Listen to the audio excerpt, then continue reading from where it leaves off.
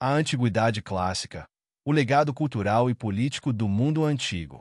A Antiguidade Clássica é um período histórico marcado pelo florescimento das civilizações grega e romana, cujas contribuições moldaram profundamente o desenvolvimento político, social, cultural e filosófico do Ocidente.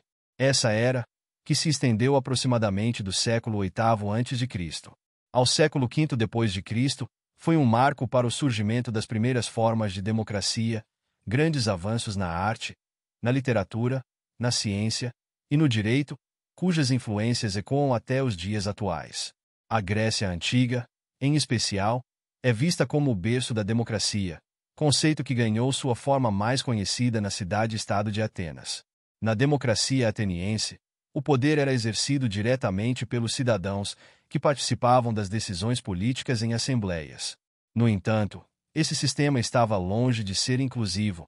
Apenas homens livres e nascidos em Atenas tinham direito a participar, excluindo mulheres, escravos e estrangeiros. Apesar dessas limitações, o modelo grego de participação direta inspirou as ideias democráticas modernas. Além do aspecto político, a cultura grega antiga foi rica e variada, abarcando uma vasta produção artística e literária. Os gregos se destacaram na escultura, teatro e arquitetura. Obras como a tragédia Édipo Rei, de Sófocles, e a comédia Lisístrata, de Aristófanes, refletem não só as questões sociais e políticas da época, mas também um profundo entendimento da condição humana.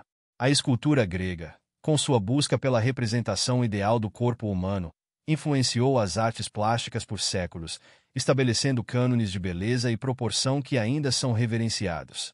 No campo da filosofia, nomes como Sócrates, Platão e Aristóteles fundamentaram algumas das principais correntes de pensamento ocidentais.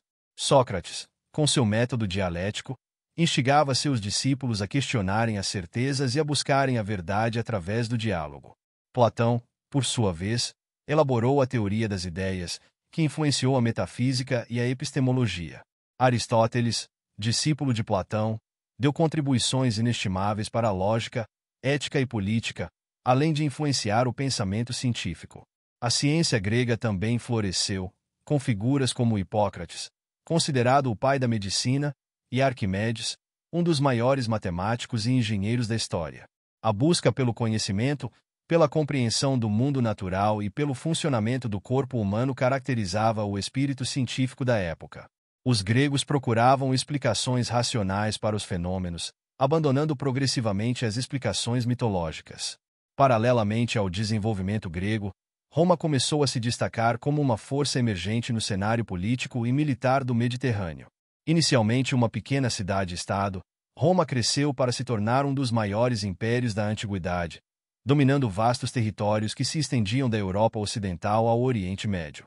O Império Romano foi notável pela sua capacidade de integrar e administrar populações diversas, além de criar um sistema jurídico que permanece como base para muitos sistemas legais modernos. Um dos maiores legados romanos foi o direito. O desenvolvimento do direito romano influenciou profundamente o pensamento jurídico ocidental, especialmente em países de tradição civilista. A codificação do direito, o desenvolvimento de conceitos como a propriedade privada, o contrato e as obrigações são heranças diretas de Roma. A ideia de que o direito deveria ser acessível e claro foi consagrada nas leis romanas, que se tornaram um modelo para muitos sistemas jurídicos modernos, incluindo o brasileiro, em consonância com os princípios expressos na Constituição Federal de 1988. Além do direito, a engenharia e a arquitetura romanas eram extremamente avançadas. Os romanos construíram aquedutos, estradas, pontes e edifícios monumentais, muitos dos quais permanecem de pé até hoje. A cidade de Roma era uma verdadeira metrópole, com uma infraestrutura impressionante para a época. O Coliseu, por exemplo, é um dos mais conhecidos exemplos da grandiosidade arquitetônica romana, um anfiteatro onde ocorriam combates de gladiadores e outros espetáculos públicos. A sociedade romana era marcada por uma rígida hierarquia social. No topo estavam os patrícios, a elite dominante, e abaixo deles os plebeus, que compunham a maioria da população. Embora houvesse alguma mobilidade social, especialmente através do enriquecimento ou do serviço militar, a estratificação social era uma característica constante. A escravidão também desempenhava um papel importante na economia romana, com muitos escravos sendo prisioneiros de guerra ou descendentes de escravos. A religião desempenhava um papel central tanto na Grécia quanto em Roma, mas diferia em certos aspectos. Enquanto os gregos adoravam um panteão de deuses liderados por Zeus, os romanos absorveram muitas dessas divindades e práticas religiosas, adaptando-as às suas próprias tradições. Os deuses romanos, como Júpiter, Marte e Vênus, tinham correspondentes diretos nos deuses gregos.